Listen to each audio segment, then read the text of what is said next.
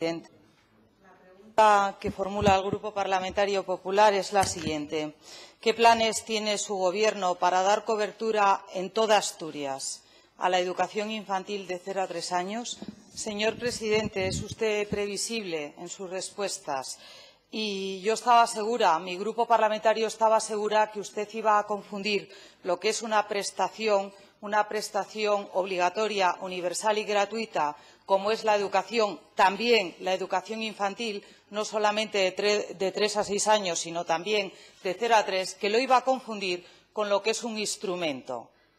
Y, desde luego, nosotros no compartimos el enfoque que usted hace. Pero no lo comparte ni siquiera usted mismo y se lo recordábamos en el anterior eh, debate del Estado de la región y yo quiero invocarlo aquí nuevamente, en su debate de investidura, que era su hoja de ruta política para llevar a cabo las políticas sectoriales a lo largo de los dos años y medio, tres años que restaban eh, de legislatura, usted decía literalmente lo siguiente en el ámbito educativo referido a los cero y tres años. Queremos la ampliación de la red de escuelas para niños menores de cuatro años, la red de cero a tres, y el fomento de la conciliación laboral con eh, medios en este ámbito y seguía usted diciendo, señor presidente, pretendemos agotar estas cuestiones eh, también en un pacto demográfico que presentaremos a la Cámara para su aprobación. Es decir, usted en aquel momento, al menos, era muy ambicioso en sus planteamientos y lo era igualmente en las políticas a desarrollar a lo largo de la legislatura. Al cabo de dos años y medio, señor presidente, tenemos que decir, pero no con satisfacción, de fijar nuestra atención en lo malo, con la desolación de lo no hecho con la desolación de lo no hecho. Y ustedes, en dos años y medio, señor presidente, en este ámbito educativo, es decir, de cero a tres años, no han sabido, no han podido o no han querido dar respuesta a la sociedad asturiana en su conjunto a los jóvenes que, teniendo niños en esta edad, efectivamente pretenden poder acudir a su trabajo, los que tengan la suerte de tenerlo, y poder conciliar ese trabajo con su vida personal y con su vida familiar.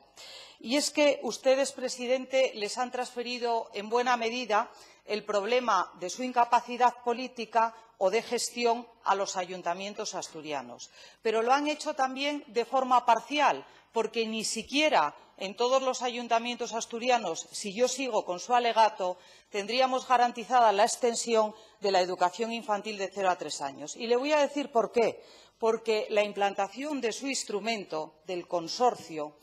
eh, es un instrumento en el que nosotros ya le aventuro que no creemos especialmente, porque es un instrumento llamado a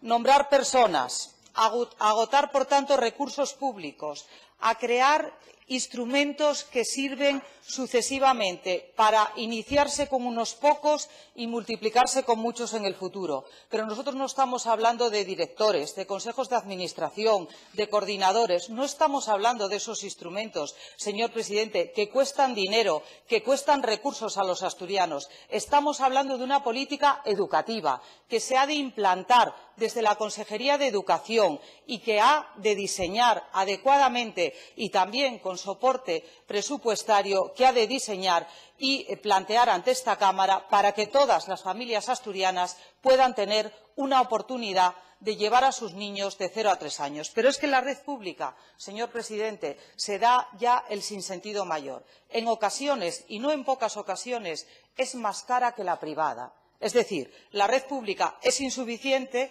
ustedes quieren eh, seguir diciendo que sea insuficiente porque los consorcios son de adhesión voluntaria, de adhesión voluntaria, es decir, que no garantiza que los 78 ayuntamientos asturianos, si eventualmente tienen niños en esta edad, tengan necesariamente que acogerse. Y en segundo término, también le digo, hay ayuntamientos asturianos que ni siquiera pueden hacerlo por la Ley de Bases de Régimen Local. En su disposición novena, como usted sabe muy bien, los que están sometidos, los que, pues yo se lo digo, los que están sometidos, como citaba el Código Penal con precisión de abogado, por eso decía que la disposición adicional novena, como usted sabe y conoce, de la Ley de Bases de Régimen Local, establece que aquellos ayuntamientos asturianos que estén acogidos a planes de estabilidad o que tengan planes económico-financieros aprobados por la escasez de recursos anteriores tienen prohibido tiene prohibido por ley adherirse a consorcios, a fundaciones, a entes y a entidades. Por tanto, diseñan ustedes tarde mal y nunca un instrumento insuficiente,